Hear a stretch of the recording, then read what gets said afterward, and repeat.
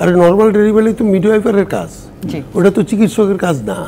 এবং এই যে তার ইয়েটা করল অ্যাডভার্টাইজমেন্ট বা রুগী ধরার ফাতরা এটা অনৈতিক। সমস্ত জিনিস যেহেতু আমরা জানি না আমরা কিন্তু কথাগুলো বলছি মিডিয়াতে যা আসছে তার প্রেক্ষাপট। সত্যিকারের কি?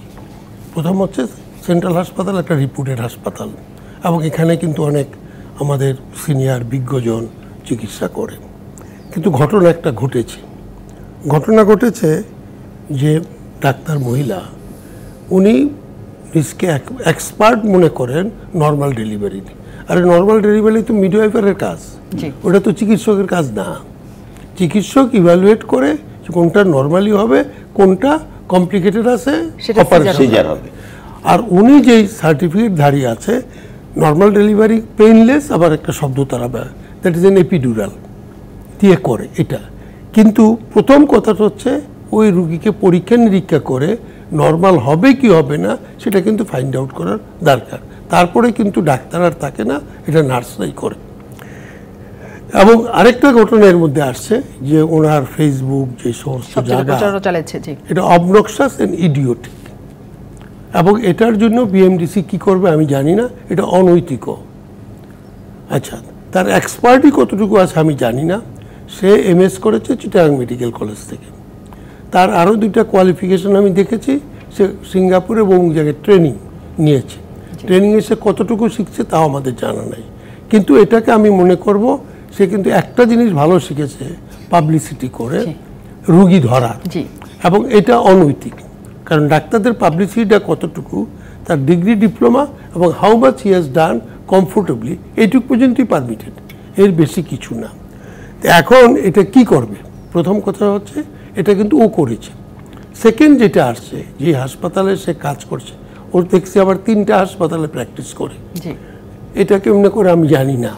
এবং এক এক হাসপাতালে একশো জনের মতো রুগী দেখেন তিনি। এটা এটা আমি স্বীকার করলাম না এটা হতে কঠিন। মানে এক হাসপাতালে একশো জনের মতো রুগী দেখা এটা সে নিজেই ফেসে গেছে। এটা যদি ট্যাক্স গভর্নমেন্ট ওকে ধরে ওর তার সম্পদ আছে দিয়া শেষ করতে শেষ করতে পারবে না, তো সুতরাং আমি মনে করি এটা তার ইয়ে। এবং এই যে তার ইয়েটা করল অ্যাডভার্টাইজমেন্ট বা রুগী ধরার ফাতরা এটা অনৈতিক। এটা বিএমডিসির দেখা উচিত। Even it may go to the highest level এই অনৈতিকের জন্য তাকে কিন্তু যে কোনো পানিশমেন্ট দেওয়া যায়। থার্ড যেটা হচ্ছে যে উনি চলে গেছে ওনার নামে রুগী ভর্তি হয়েছে। যেই হাসপাতালে ভর্তি হয়েছে সেই হাসপাতালে এটা কেন পারমিট করল? সে সে কি তাদের জানায় যায়নি? জানায় গেলে তো আরও আরও তারা ভুল করেছে। কারণ নিয়ম হচ্ছে একটা ডাক্তার আরেকটা ডাক্তারের রেফার কাজটা করতে পারে সেটা হচ্ছে তার সমকক্ষ হতে হবে। সমকক্ষ না হলে কিন্তু করা পারবে না, he must be he must be যে আমার কাজটা তুমি একটু দেখো আমি থাকব না। অ্যাট দি সেম টাইম রুগীদেরও বলা যে উনি নাই ওনার কাজটা আমার কাছে করতে বলছে আমি মিস্টার সাসেন্সাস আমি এটাতে সক্ষম। এগুলোর কোনোটা হয়েছে কিনা আমি জানি না। থার্ড যেটা আসলাম তো রেজিস্ট্রেশন নাম্বার নিয়ে নাকি গণ্ডগোল আছে। এটা আমি শুনেছি। এখন রেজিস্ট্রেশন নাম্বার রিভেরি রি রেজিস্ট্রেশনটা করে নাই।